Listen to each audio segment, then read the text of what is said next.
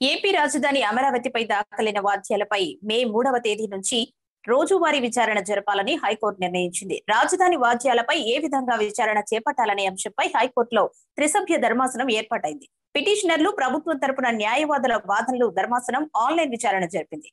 మే మూడు నుంచి రోజువారీ విచారణ జరపాలని నిర్ణయం తీసుకుంది. మళ్ళీ మొదటి నుంచి వాదనలు కొనసాగనున్నాయని సీనియర్ న్యాయవాది సుకర రాజేంద్ర ప్రసాద్ తెలిపారు.